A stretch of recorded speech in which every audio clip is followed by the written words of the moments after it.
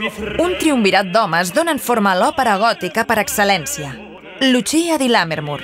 La novel·la és de Sir Walter Scott, però va ser musicalitzada per Gaetano Donizetti i el llibret va ser escrit per Salvatore Cammarano el 1835. Tres homes per dissenyar una dona que converteix en tragèdia tot allò que toca.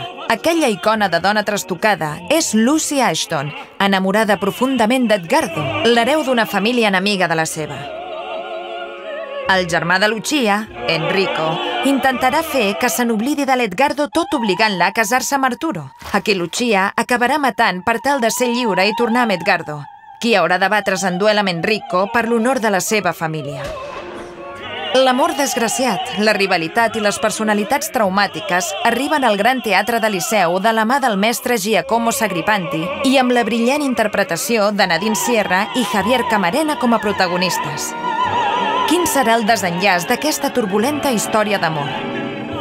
Es baten en duel i Edgardo mor, però Lucia mata el seu germà després. Fingeixen la mort de Lucia per tal que sigui el mateix Edgardo qui se suïcida, el més pur estil de Shakespeare.